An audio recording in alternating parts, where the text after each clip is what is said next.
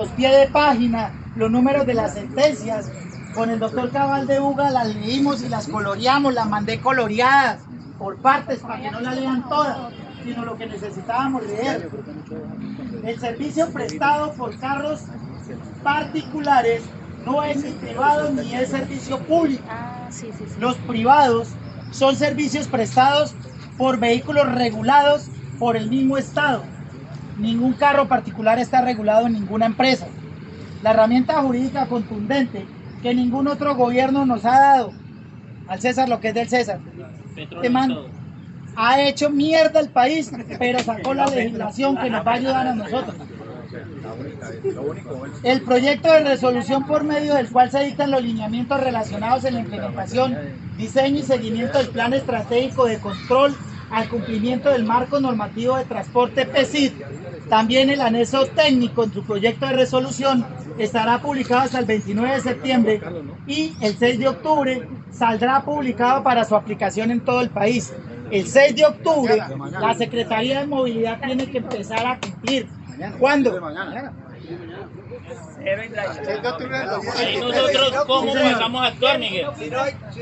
Espere, espere, A espere, eso los espere, estoy espere. La responsabilidad de la industria del taxi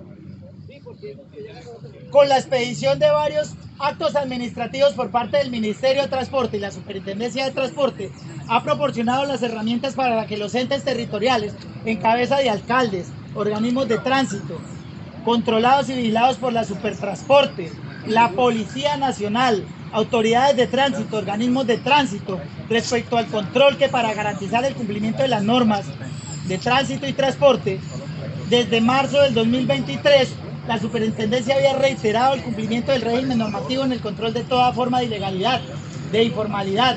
El 22 de septiembre del 2023, la Supertransporte entrega la herramienta Culmen a través de su circular, donde indica la transversalidad de los deberes de control a la prestación ilegal informal del servicio público de transporte. Muchachos, nos tocó seguir apoyando esta tarea. ¿Cómo? Ahora sí, descarguen la aplicación, pero como usuario, como taxista, para coger pruebas. Solo se necesita una captura de pantalla con la placa y la foto, como esta.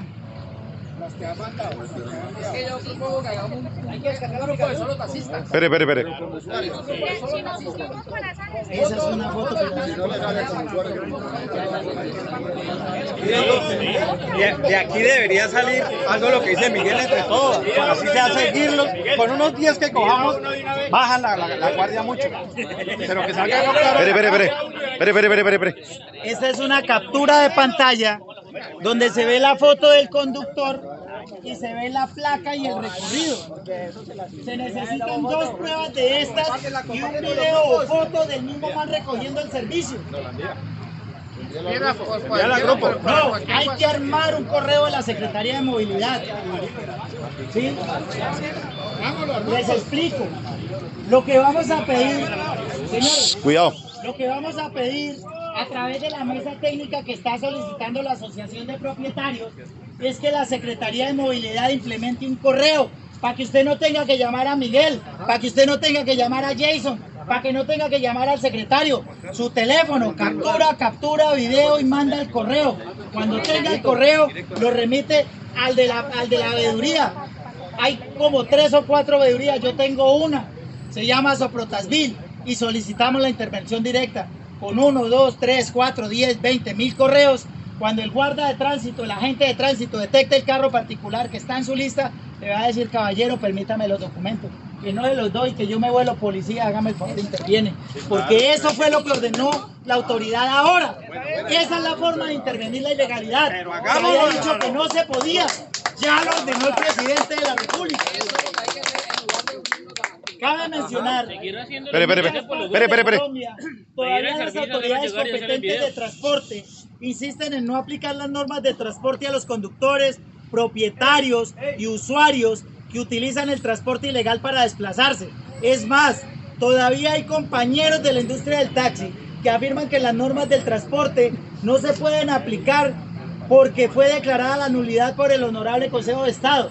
Por consiguiente, la resolución 10800 también perdió la fuerza ejecutoria. Además, en el Ministerio de Transporte es una equivocación total que no se tenga en cuenta la ley 105 de 1993, artículo 9, numerales 2, 4 y 5, lo mismo que la ley 336 de 1996, en los subliterales 46, literal E y 49, literal E. Ambas leyes son de transporte, no de tránsito. La única ley de tránsito que existe en Colombia es la ley 769. Las otras leyes todas son de transporte.